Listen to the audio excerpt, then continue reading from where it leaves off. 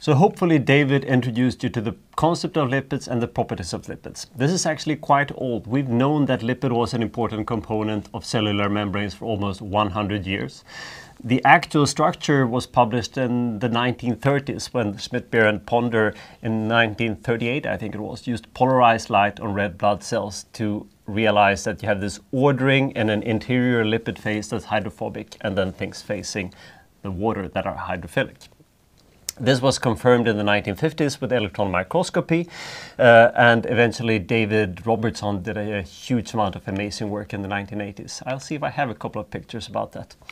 Here we have the red blood cell. Do you see the thin layer here? This is actually not one, but two layers of lipids.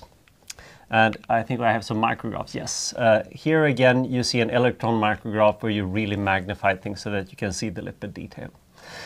But for natural reasons, most of the early studies on membranes were top-down. We started to have a membrane and see how far we could penetrate this either with light microscopy or electronic microscopy. Which is fine in many ways, but just looking at this, we see that there is a membrane, but we do not see all the atomic detail. Exactly what are the properties of the molecules here. For a long time, we've drawn this in textbooks as these plain simple lipids with two straight tails. Today we can do this in slightly modified ways by using computers. And though computer simulations are severely limited in other ways that I'll be happy to tell you about at some point, they are really useful as a computational microscope so we can look at the real behavior of these molecules. So this is a movie of a lipid from a simulation. It's called POPC, this particular one, not super important. You have two large fatty acid chains here. They're derived from fatty acids originally and they're very hydrophobic. They're connected to a group here that we call a glycerol. It was originally derived from a glycerol when we created the lipid. And then eventually we have a head group here that is very polar. Hopefully David told you about the fact that it's, it's even so polar that we occasionally call it zwitterionic. You have a full minus charge here and a full plus charge here. Do you see the lipid tails here, though? That they're much more zigzaggy than the traditional pictures you might see in textbooks. Let's have a look at that. I have an old movie for you. It's a bit corny, but I think it's a great way to introduce lipids, in particular in the context of how they interact with proteins and other stuff in the membrane. Uh, you won't hear the speaker voice here. So if we zoom in on this animation, you will see the lipid bilayer.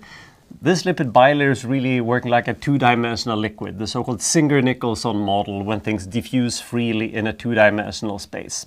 The lipids themselves, though, are very flexible, and this flexibility is what gives the self-assembling and in particular self-repairing ability, that if we have small defects, the lipids will heal very quickly, and there will not be any water going in, although you don't see the water molecules here. The membrane is not limited to lipids, though. That's important. You have a lipid bilayer as one component, but in addition to that, we have cholesterols, these small brown, uh, gray parts here. We have some sugars sticking out, and in particular, what we do not show you here is that we have a ton of proteins, actual membrane proteins embedded. Depending a little bit on how we count, it can be up to 30% of the mass of a membrane that's actually the membrane proteins rather than lipids. And that's what I'm going to spend most of the time today talking about.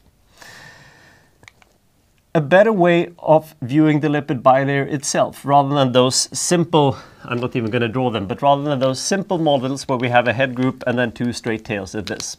This is a snapshot taken from an actual simulation that probably even me who ran this a few years ago. Now it's mostly my students. Do you see the chaotic nature here in the hydrophobic part? That is because all these long hydrocarbons, while it might look plain nice and simple to put them with straight chains, that would actually be very unfavorable from an entropic point of view. Think of this as throwing out a string. The probability that the string will be completely straight is virtually zero, although it could technically happen. This in particular means that the hydrophobic part of the bilayer will not have any ability to form hydrogen bonds or anything. So it's going to be difficult for us to put anything charged in here. I'll get back to that in a second.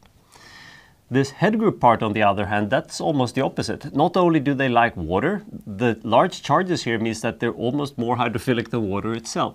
They will love to interact with charged and the hydrophilic polar things which is going to create a very specific pattern. Hydrophobic parts go in the center of the membrane, while hydrophilic, polar, even charged parts will not just accept, but love to interact with the head groups. And then eventually we might have a large water-soluble domain or something outside it.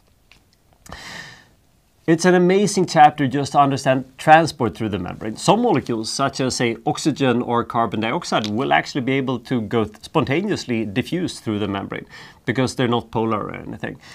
David will likely tell you a little bit about that in the class, but again, the obvious example is your red blood cells all the oxygen I'm breathing when I'm standing here that's diffusing freely through my membranes and the carbon dioxide that is then being transported back to the lungs, the reason that goes into the same red blood cells is that it can diffuse pretty much freely through the membrane. But this is roughly where we're going to stop looking at plain lipid membranes that consist just of lipids and, uh, and start considering all the complications. Do you see the parts that we have here. First, we have the blue parts. The blue large part roughly there is a large membrane protein. Actually, it's not just a membrane protein. You have one so-called domain that sits straight through the cellular membrane here. Then you have one part that's sitting outside, one part that's sitting inside. We might have some small, I think these yellow components or so that could be cholesterol. You might have a green component out here. That's a so-called monotopic membrane protein, I think. So it's a protein that's anchored a bit into the membrane, but then it sticks out on the other side.